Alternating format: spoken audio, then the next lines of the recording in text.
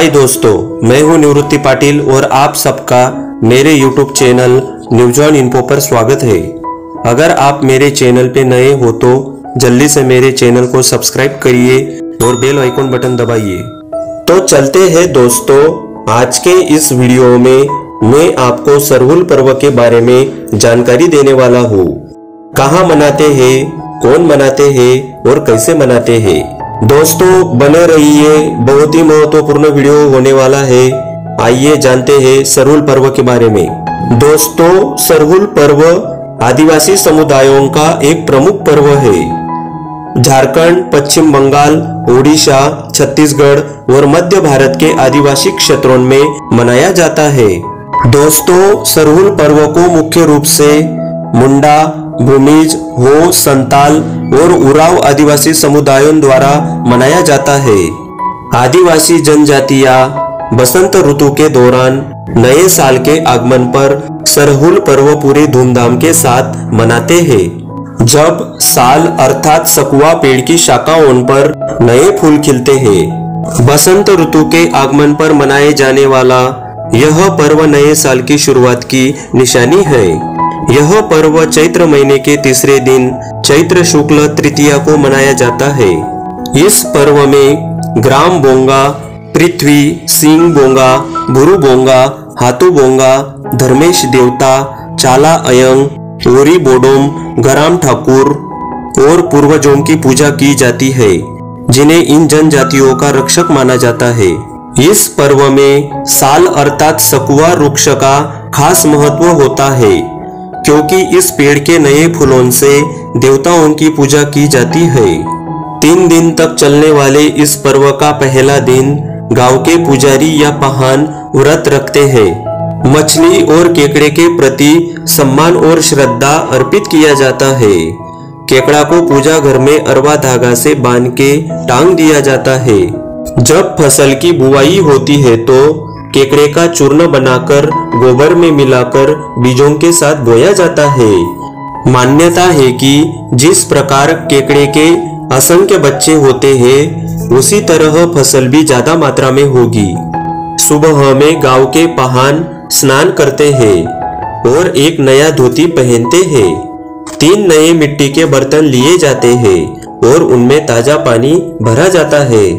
दूसरे दिन सुबह पूरा गाँव सामूहिक रूप से पहान की अगुवाई में साल के फूल को अर्पण में सम्मिलित करते हुए प्रकृति शक्तियों की आराधना करते हैं। मिट्टी के बर्तन के अंदर पानी का स्तर देखा जाता है। अगर पानी का स्तर कम होता है तो इससे अकाल या कम बारिश होने की भविष्यवाणी की जाती है। और यदि पानी का स्तर सामान्य रहता है तो वह एक अच्छी बारिश का संकेत माना जाता है।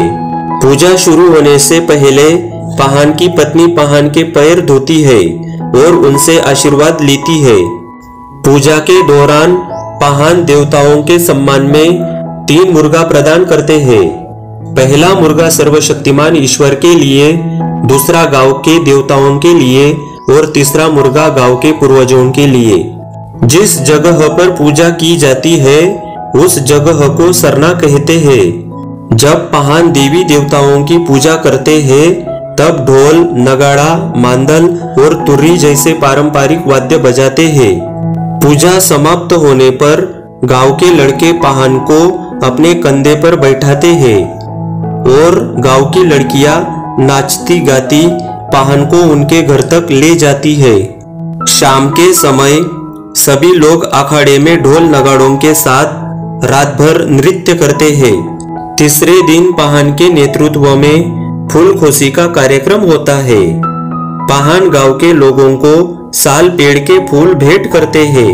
और तो और वे साल पेड़ के फूलों को हर घर के दरवाजे पर लगाते हैं, जिससे घर की खुशियाँ आने के संकेतिक माना जाता है, जिसे दूसरे शब्दों में फूल खोसी भी कहा जाता है।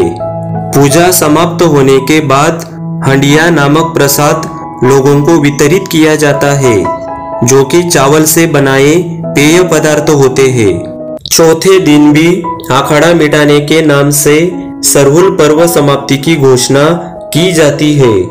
सरहुल पर्व हमें पर्यावरण बचाने का संदेश देता है। दोस्तों, झारखंड के रांची शहर में हर साल शोभा यात्रा निकाली जाती है। पारंपरिक वाद्यों के साथ गीत गाकर नृत्य करते हैं और पूरे गाँव में शोभा यात्रा में एक दूसरे का हाथ पकड़कर नाचते हैं। आदिवासियों की परंपरा के अनुसार इस पर्व के बाद नई फ़सल की कटाई शुरू हो जाती है। दोस्तों, इस तरह से सरोल के दिन सभी आदिवासियों के द्वारा प्रकृति के इस पर्व को उल्लास और आनंद के साथ मनाया जाता है।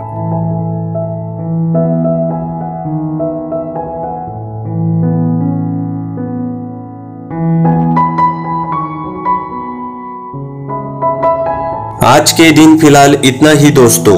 अगर आपको मेरी वीडियो अच्छी लगी तो जल्दी से लाइक करके कमेंट करना ना भूलिए। और ज़्यादा से ज़्यादा इस वीडियो को शेयर कीजिए। फिर मिलते हैं अगली वीडियो के साथ। तब तक रखिए आपका ख्याल।